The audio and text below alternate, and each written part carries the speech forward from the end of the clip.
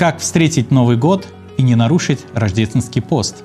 Об этом мы поговорим в нашей передаче «Просто о вере» в понедельник на телеканале Самарагиз в половине восьмого вечера.